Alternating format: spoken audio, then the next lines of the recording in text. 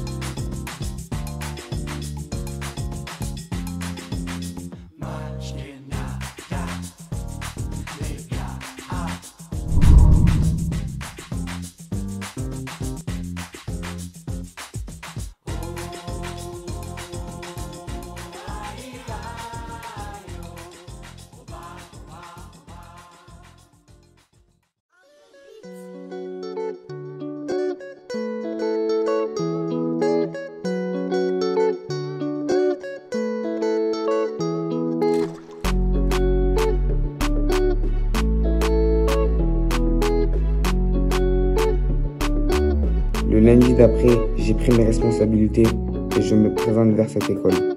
Au début, je ne savais pas où j'allais mettre les pieds, mais franchement, je regrette vraiment pas.